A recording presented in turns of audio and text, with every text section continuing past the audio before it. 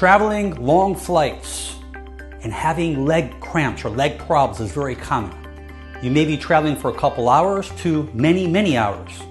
But the most important thing is when you sit for long periods of time and you do not move your legs and you stay in one position, you then get pooling of the blood that comes down into the legs, and the legs can eventually start to swell around the knees, the calves, as well as the ankles. This is called pooling.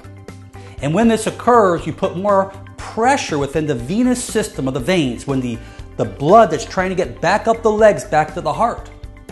So, the most important thing you can do is start moving your feet.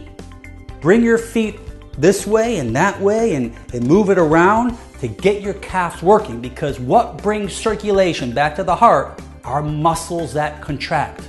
If you need to move your feet around back and forth, get up, walk around, I, I highly recommend that you do this because having these particular problems, which is quite common, more common than people really think, but we don't want this to happen to us. So if you're traveling long periods of time, make sure you're moving the feet, contracting the calves to make sure you're getting the right circulation.